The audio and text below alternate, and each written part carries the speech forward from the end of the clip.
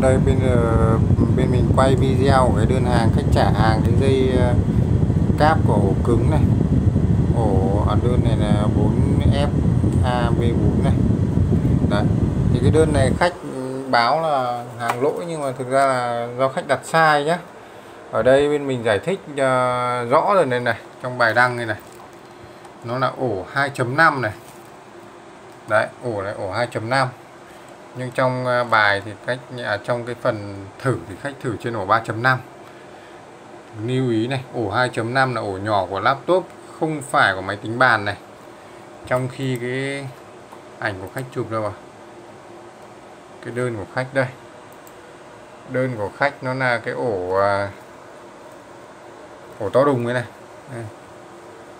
ổ to 3.5 đây. Đấy ổ của khách là ổ to 3.5 đây nhìn rõ to nhé đây, mình phân biệt luôn này. Trên bàn mình có hai loại này. Ổ 2.5 và ổ 3.5 nhìn chưa?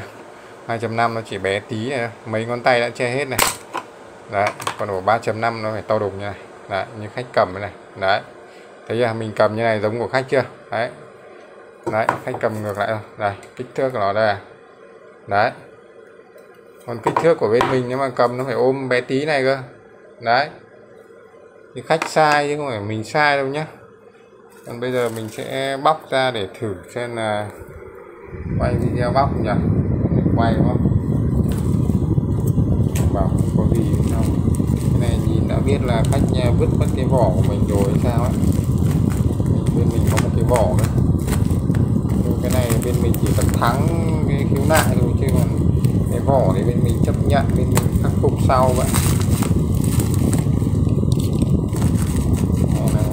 cái bóng khí không còn cái vỏ nó thôi khách kiểu này mình gặp nhiều. Toàn là vứt vỏ người ta đi, mặc dù là test không được thì cũng phải trả người ta đủ chứ. Cái túi này không phải túi của nó, túi của nó túi tiếp bạc. Hình ảnh sản phẩm giống rồi nhé chỉ là khách dùng sai thôi nhé